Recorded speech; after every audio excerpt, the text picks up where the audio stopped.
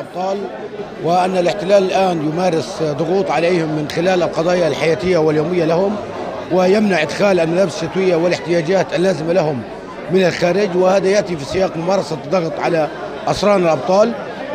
أنا والد الأسير شريف أبو وادي آه، الموجود في سجن نفحة محكوم 17 سنة. آه، طبعا آه، إحنا يعني إنه لقيت كم سنة ما دخلش عليهم ملابس شتوية هم بعدهم من هيك مشكلة يعني.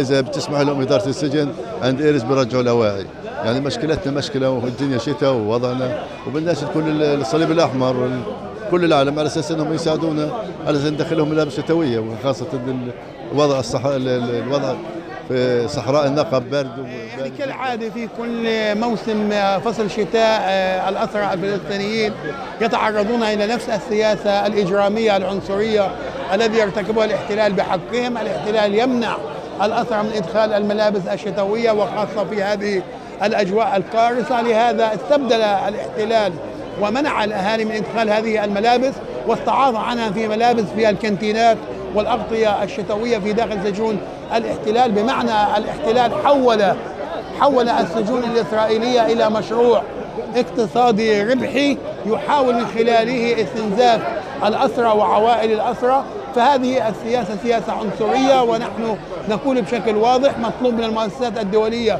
والحقوقيه الضغط على حكومة الاحتلال للسماح للأسرى الفلسطينيين من إدخال كل المستلزماتهم الشتوية في هذا الفصل القارئ.